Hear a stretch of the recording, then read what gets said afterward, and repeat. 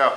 Hello, everyone. I'm Baker. I'm here with my friend Matt Sorum, and uh, we have some some uh, catastrophe going on here over on the side. Um, no, actually, we're here together to uh, show you some pieces that uh, Matt has that I'd like to present to you. Uh, pendant here, one of a kind skull pendant, as well as a 16 skull bracelet. Wanted to uh, show you these things real quick. Waiting for the photographer. Here he goes. Awesome. And also, box for you. Also, we have, uh, I guess. We have two jewelry boxes, two custom one-of-a-kind leather jewelry boxes that have sterling silver ingots on the top, all handmade by Gabor, have the nail finish in here, and then the inside, very nicely done with the rivets and stuff. Wanted to show you all that.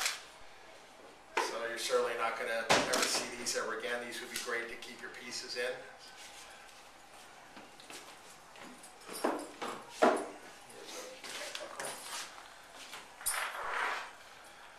Also have a belt buckle here with the, with the belt. Uh, this is one of the older original first generation pieces. And this is the wallet chain right here that you have featuring the bulldog end. Uh, if you refer to the pictures, you'll see close-ups of the stamps that are included. So I wanted to provide you all this information for your consideration. And uh, I think that is it. Um, also, you- you- I think we have, uh, you said you were gonna send one of these along? Do you need the glasses? Also, uh, Matt is going to send one of these along with you, uh, with the jewelry to you.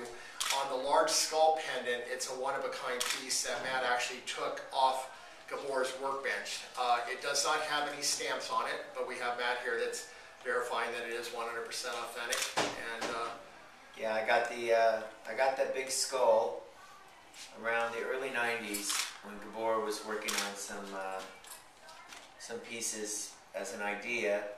He made this, and he made another thing that I gave to my friend Randy Castillo. It was a merman, and I, I took the two prototypes. so here's an opportunity to really own some very rare original Gabor, as well as being owned by two very large uh, rock musicians, uh, Matt, of course, and then the late great Randy Castillo on drums. So we hope you'll enjoy them, and uh, we'll talk to you soon. Awesome.